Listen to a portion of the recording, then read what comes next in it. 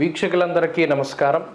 July నెలలో వృశ్చిక రాశి వారికి ఏ విధమైనటువంటి ఫలితాలు కలగబోతూ ఉన్నాయో ఈ వీడియో ద్వారా తెలుసుకునేటువంటి ప్రయత్నం చేద్దాం. ముఖ్యంగా ఈ మాసంలో ఈ రాశి వారికి ఉన్నటువంటి గ్రహస్థితిని కనుక పరిశీలన చేస్తే పదమూడవ తారీఖు వరకు ఆరవ స్థానంలో కుజుడు అనుకూలంగా ఉన్నారు. అలాగే పదిహేడవ తారీఖు వరకు అష్టమ రవి దోషం ఉంది. పదిహేడవ తారీఖు దాటాక ఆ రవి అష్టమ దోషం కూడా పోతుంది. ఇక సప్తమంలో గురుడు పూర్ణమైనటువంటి శుభగ్రహం ఆయన పరిపూర్ణమైనటువంటి శుభ ఫలితాలు ఇస్తూ ఉన్నారు. అర్ధాష్టమ శని దోషం ఉన్నది. ఆ శనేశ్వరుడు కొంత ప్రతికూలంగా ఉన్నారు. పంచమంలో ఉండేటువంటి రాహు యొక్క స్థితి. ఈ రాహు పంచమంలో అంత అనుకూలించే గ్రహం కాదు. ఇక బుధ శుక్రులు చంద్రుడు అడపాదడప కొంత యోగిస్తూ ఉన్నా కూడా ప్రధానంగా ఈ మాసంలో గురుబలం మీద మాత్రమే ఆధారపడి ముందుకు వెళ్ళవలసినటువంటి పరిస్థితులు వృశ్చిక రాశి వారికి ఉన్నాయి. ముఖ్యంగా రాజదర్శనం ఆరోగ్యం గాంభీర్యం గాత్రపోషణం. సప్తమంలో గురుడు ఉన్నప్పుడు మనందరికీ కూడా తెలిసినటువంటి విషయమే. ఆయన యొక్క దృష్టి ఈ రాశి మీద పడుతుంది.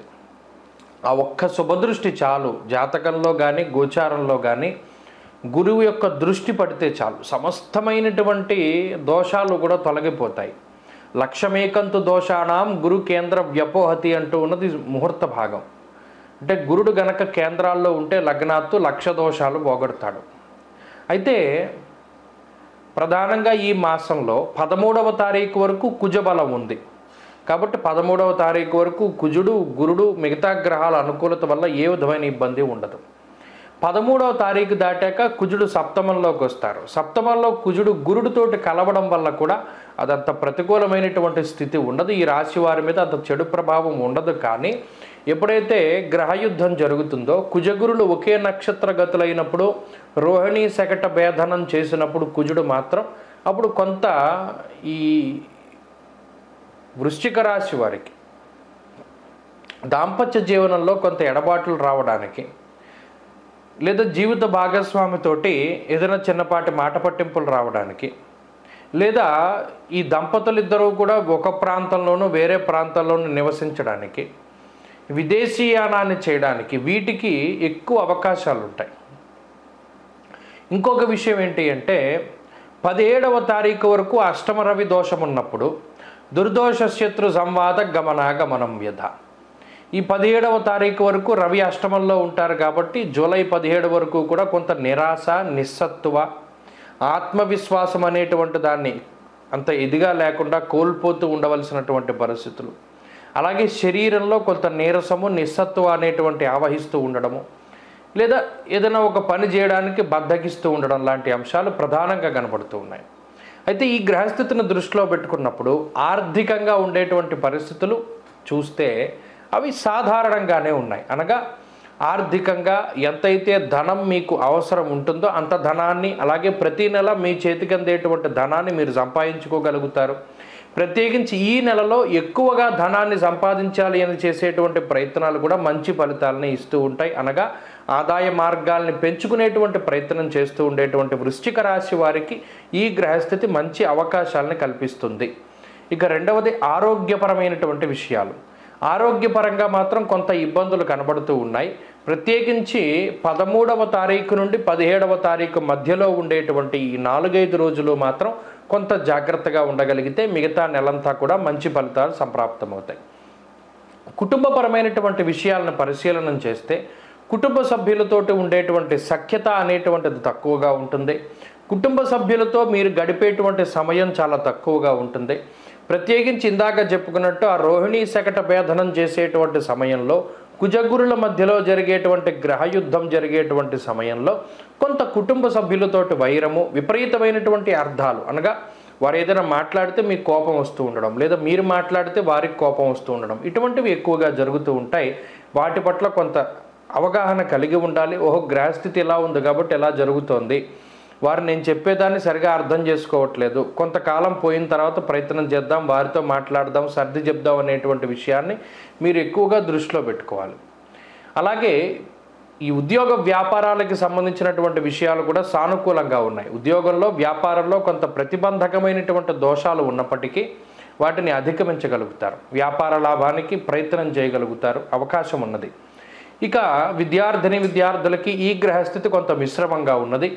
ఎక్కువ ఏకాగ్రత లోపం కనబడుతూ ఉన్నది. ప్రత్యేకించి అతి విశ్వాసము ఓవర్ కాన్ఫిడెన్స్ అంటారు. దానివల్ల దెబ్బతినేటువంటి పరిస్థితులు ఉన్నాయి కాబట్టి చాలా జాగ్రత్తగా ముందుకు వెళ్ళాలి. స్త్రీలకు ప్రత్యేకించి ఇదే రకమైనటువంటి పరిస్థితులన్నీ కూడా అన్వయం అవ్వడానికి అవకాశం ఉన్నది. కాబట్టి ఆరోగ్యం పట్ల శ్రద్ధ అవసరం. మొత్తం మీద చూసుకున్నప్పుడు వృశ్చిక రాశి వారికి ఇది కొంత మిశ్రమమైనటువంటి ఫలితాలనే జూలై మాసం ప్రసాదిస్తూ ఉన్నది. మరింత మంచి ఫలితాల కోసం వృశ్చిక రాశి వారు ఎక్కువగా కూడా సుబ్రహ్మణ్య ఆరాధన చేస్తూ ఉండాలి. సుబ్రహ్మణ్య భుజంగ స్తోత్రాన్ని ప్రతిరోజు పారాయణ చేస్తూ ఉండడం మంగళవారాలు ప్రత్యేకించి రావి చెట్టు వేప చెట్టు కింద ఉన్నటువంటి జంట సర్పాల విగ్రహానికి పాలాభిషేకం. పసుపు కుంకం వేసి క్షీరాభిషేకం చేసి చక్కగా మరలా జలాభిషేకాన్ని కూడా చేస్తూ ఉండడం చిన్న బెల్లం ముక్క నివేదన చేస్తూ ఉండడం మంగళవారం నాడు ఎర్రటి పళ్ళు కానీ కందిపప్పు కానీ ఎర్రటి వస్త్రాలను కానీ దానం చేస్తూ ఉండడం. ఇలా చేస్తూ ఉండడం ద్వారా ఈ నెలలో మంచి ఫలితాలను పొందగలుగుతారు. స్వస్తి. ఓం శ్రీమాత్రే నమ. వీక్షకులందరికీ నమస్కారం. వారాహి అమ్మవారు అంటే ఎవరు? ఎలా ఆవిర్భవించారు? మనందరికీ వారాహి అమ్మవారు అంటే ఆమె రూపము ముఖము వర్చస్సు అలాగే అమ్మవారు చేత్తో పట్టుకునేటువంటి ఆయుధాలు హలము నాగలి ఇటువంటివన్నీ మనకి కనబడుతూ ఉంటాయి. అయితే చాలామందికి తెలియనటువంటి ఒక విషయం ఏమిటి అంటే లలితా సహస్రనామం ఎవరైనా చదువుతూ ఉంటే వాళ్ళకి తెలుస్తూ ఉంటుంది. మనం సాధారణంగా శంకర భగవత్పాదులు కానీ లేదా మరి ఏ ఇతరత్ర భగవత్ స్వరూపులైనా సరే ఒక దేవతని స్థుతించేటప్పుడు ఆపాద మస్తకం స్థుతిస్తారు అంటే పాదాల దగ్గర నుండి తలకాయ వరకు కూడా వారి యొక్క ఆ స్థుతి అంటే వారి యొక్క స్థితి ఏ విధంగా ఉన్నది? వారు ఇన్ని హస్తాలు కలిగి ఉన్నారు లేదా వారు వారు ఈ రకంగా ఉన్నారు ఆ రకంగా ఉన్నారు అని కింద నుండి పైకి వర్ణన ఉంటుంది. కానీ లలితా సహస్రనామంలో అలా ఉండదు వర్ణన. అమ్మవారి నామాలు గనక చూస్తే శ్రీమాత శ్రీ మహారాజ్ఞి శ్రీమత్ సింహాసనేశ్వరి చిదగ్నికుండ సంభూత దేవ కార్య సముద్యత ఉద్యద్భాను సహస్రాభ చతుర్బాహు సమన్విత అంటే కిరీటం దగ్గర నుండి కనబడుతున్నాయి మనకి వర్ణన. అంటే అక్కడ మీరు గమనించవలసిన విషయం ఏంటి అంటే చిదగ్నికుండ సంభూత చిద్ అగ్ని. చిదగ్ని అంటే ఏంటంటే సచ్చిదానంద స్వరూపమైనటువంటి పరమాత్మ యొక్క తేజస్సు ఏదైతే ఉన్నదో అది చిదగ్ని. ఆ అగ్నిగుండం అంటే పరమాత్మ యొక్క తేజస్సు. ఆ తేజస్సు నుండి ఉద్భవించినటువంటి లలితాదేవి అగ్నిగుండం నుండి పైకి వచ్చింది. పైకి వచ్చినప్పుడు మొట్టమొదటగా ఈ కిరీటము కన్నులు లేకపోతేనేమో కనుబొమ్మలు ముక్కు నోరు ఇలా కిందకి అమ్మవారి యొక్క స్వరూపాన్ని లలితా సహస్రనామం వర్ణన చేస్తూ ఉంటుంది. అలా చేసినప్పుడు ఈ అమ్మవారు ఆవిర్భవించినప్పుడు అమ్మవారితో పాటు మరో ఇద్దరు దేవతా స్వరూపాలు కూడా చిదగ్నికుండంలోంచి బయటకు వచ్చాయి. ఒక అమ్మవారు అంటే లలితాదేవి ఆమె మధ్యలో ఉండగా ఆమె యొక్క కుడి చేతి వైపు మంత్రిని పరిసేవిత మంత్రిని అంటే రాజ్యశ్యామలాదేవి ఇప్పుడు మన అంత మాతంగి అంటారు ఉచ్చిష్ట చాండాలి అంటారు రాజ్యశ్యామల అంటారు మాతంగి అంటారు. ఇలా ఏ పేరు పెట్టి పిలుచుకున్నా అమ్మవారు. రా శ్యామలాదేవి ఆమె యొక్క కుడి పక్కన అలాగే ఇంకొక దేవత వారాహి అమ్మవారు లలితాదేవి యొక్క ఎడమ వైపుగా ఉంటారు. ఇది చిరగ్నికుండంలోంచి ఉద్భవించినటువంటి దేవతా స్వరూపాలు. ఈ ముగ్గురే సృష్టి స్థితి లయాలకి సంబంధించినటువంటి జ్ఞానం.